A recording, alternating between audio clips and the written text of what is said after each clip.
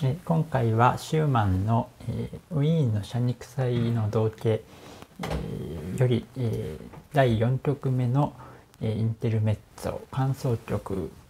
を取り上げてみたいと思います。えではまず1回そうしてみたいと思います。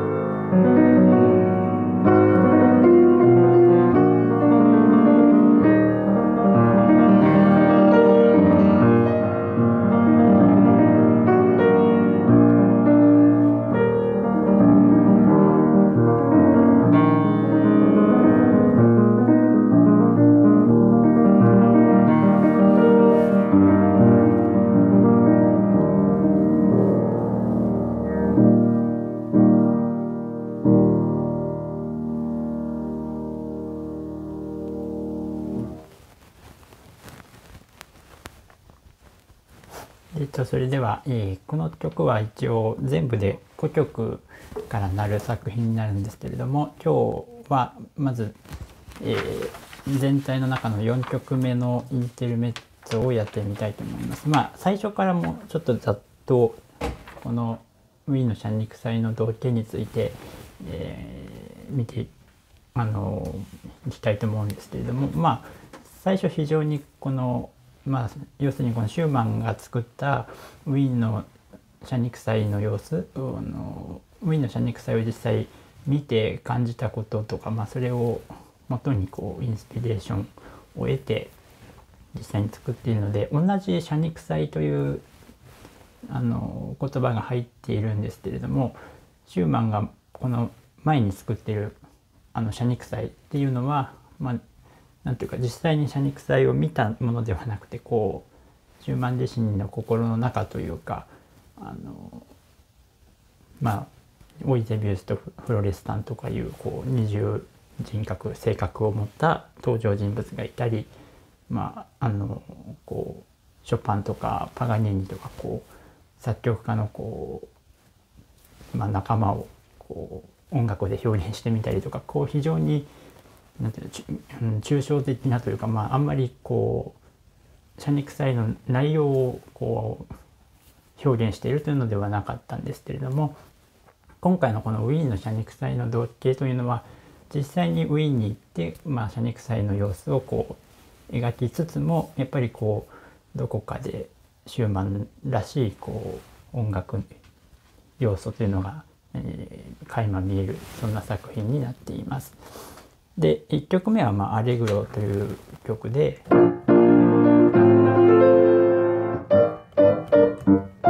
あの非常に元気よく始まって、まあ、これは結構長い曲なんですけれども、比較的後の曲は短い曲が多くてまああの途中でフランスの国歌のフレーズが出てきたりとかいろいろこう当時の政治とかまあ時代背景を考えると結構このシューマン自身がこう表現したかったことというかあの思っていたことがあんまりうまくこう表現できる時代ではなかったのでこの曲の中曲を通してこうあの自分の気持ちを伝えようとしているような部分も見られます。で2曲目はあのロマンスという感じでまあ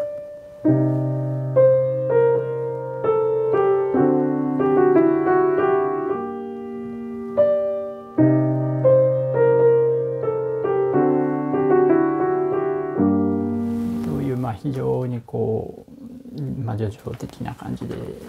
あの穏やかに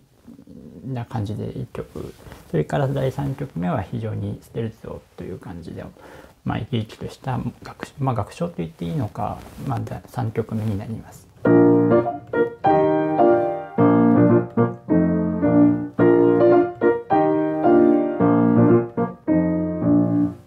でまあそういうなんかこう陽気な感じの、まあ、それこそ邪肉祭の様子みたいなのを描いたのが第3曲目でそれに対してちょっと感想曲なのでまあ後でやるフィナーレと、まあ、それの間に入っているものになります。で、えー、調整は変補単調で、えー、一番楽天の、まあ、音階の中ではフラットが多い調整になるので、まあ、骨鍵が多いっていうのがまず一つとそれからあとはうんと右手と左手のこの外の外声という、まあ、まず右手のメロディー弾いてるのがもうほとんど4の指とか5の指とか外側の指しか使えないんですけどそれをまあ指でレガートをしてつないでいくみたいな。左手はあの音階のような感じでオクターブで。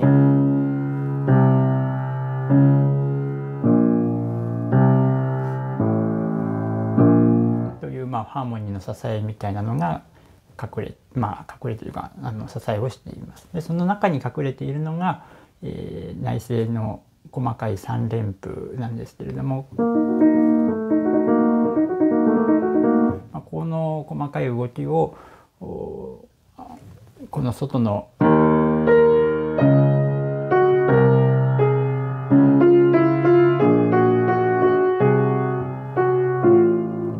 の中にこう入れるというかそれをこうはみ出さないようにバランスをこう工夫しながら弾けると,、えーと、あんまりまあ賑やかになりすぎないような演奏が求められます。結構このまあ、3拍目にスウルサウンドが来るという形を結構多くとっているのでここに向かって短いんですけれども一拍の間にクレッシェンドをかけるという、まあ、指示を生かすためにはあんまりこの1個目の1拍目の最初をやりすぎると結構あの流れも悪くなってしまうので結構ここをあんまり最初ちょっと丁寧に入れておいて。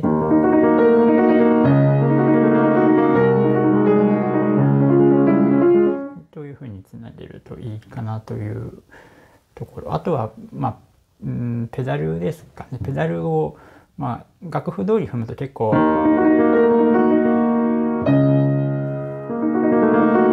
結構濁ってくるので細かく踏み替えるというか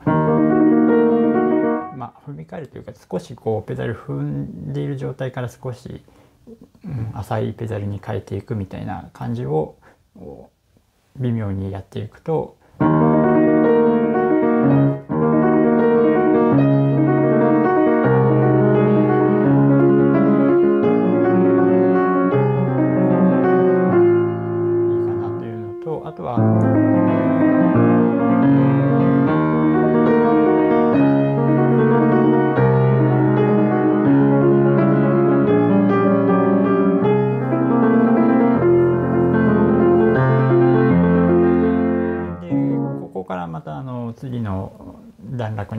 ですけれどもここであの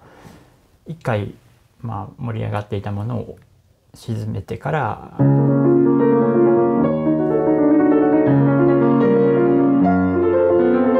でこの二山と次の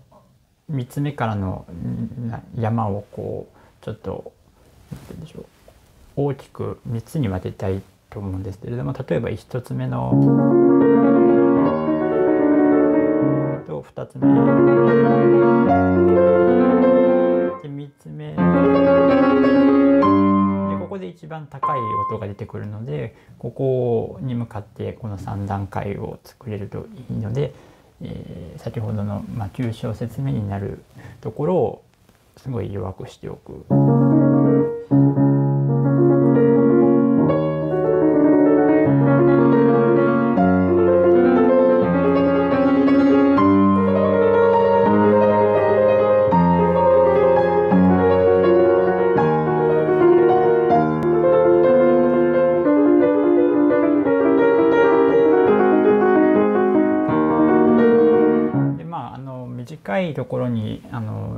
ころどころリタル弾道の指示もあるんですがシューマンの場合リタル弾道の後の、まあ、テンテンポをだんだんゆっくりにするという言葉の後に、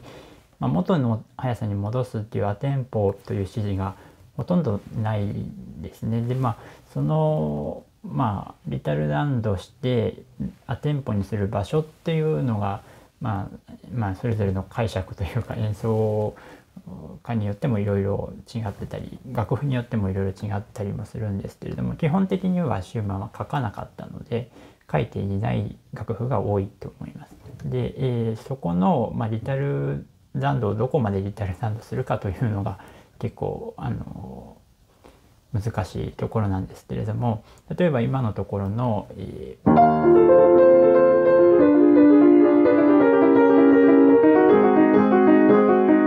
ここがちょっとリタルランドになるんですけれどもあんまりこうブレーキをかけるほどのリタルランドをするようなところでもないんですけれどもどこからこれを元に戻すかっていうのが、えー、でまあまあ普通にここは分かりやすいので、まあ、元に戻ったところから、まあ、遅くした分あのここで元の速さにすぐに戻れるようにあの準備をするという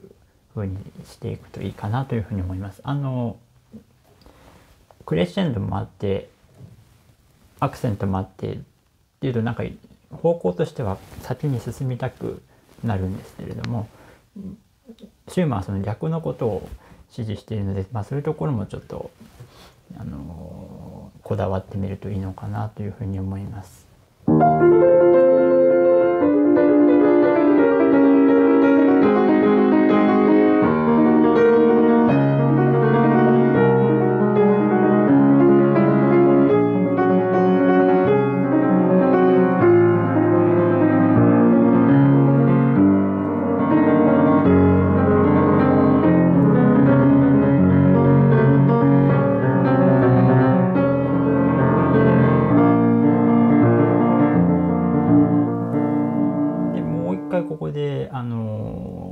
3段落目というのか、まあ、転調して同じようなあのパッセージが出てきますのでやはりここも同じやり方を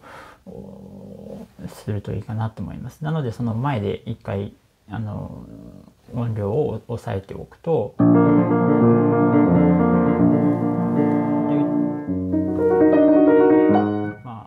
あ音量を抑えるだけじゃなくて、まあ、音の、まあ、音色というのもちょっとこう。まあうん少し透明感のあるような音にするとかこのうごめいていたものの中からあの、まあ、輝かし輝いてるようなものが光ってるようなものが見えるようなそんなようなイメージを持っていくといいかなと思います。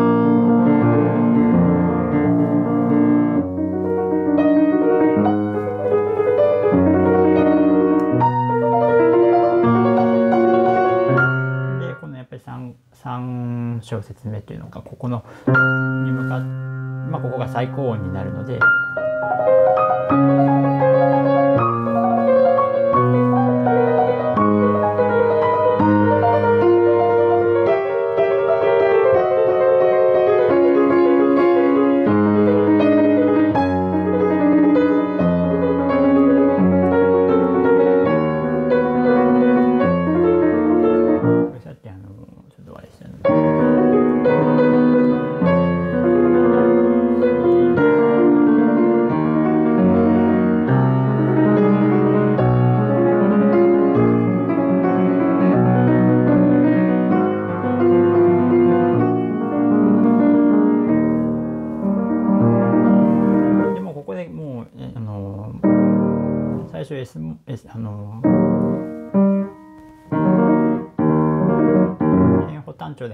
っていたの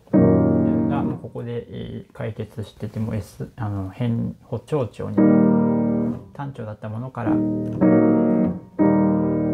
長調に解決してもうあとはあと同じような和音で動くので、まあ、あとはもう終わりに向かってだんだん静まっていくようなイメージで演奏するといいと思います。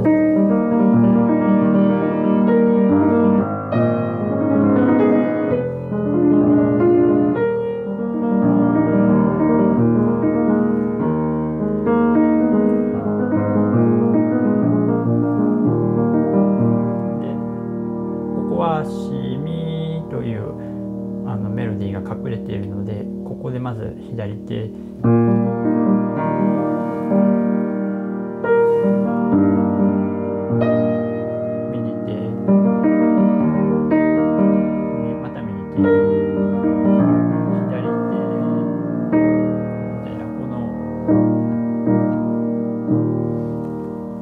中の内政部を中心に左あ左手の低音と右手の高音をこううまくで最後は反対の C のような形で締めくくりをしますで最後はリタルダンドが結構最後までかかってるのでここは一番最後に向かってだんだんテンポを緩めて終われるといいのかなというふうに思います。曲の作りとしてはもうずっと同じようなあの内声がこう3連符で動いているという形なので、うん、そのそれぞれの場面の変わり目のところで少しこう間を取るとか音色を変えるとか強弱をコント変えてみるっていうのが、うん、あのできるといいのかなというふうに思います。で、えー、まあ次の曲はフィナーレになるのでまたフィナーレを別にやってみたいっていうこうと思います。